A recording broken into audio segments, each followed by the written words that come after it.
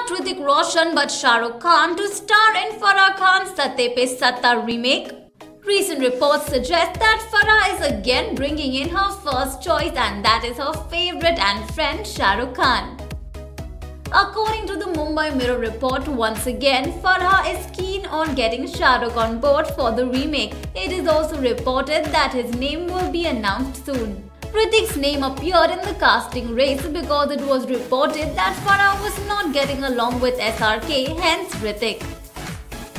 Contrary to the reports, things are going smooth between the two. Farah is again reconsidering her offer for getting King Khan in the remake.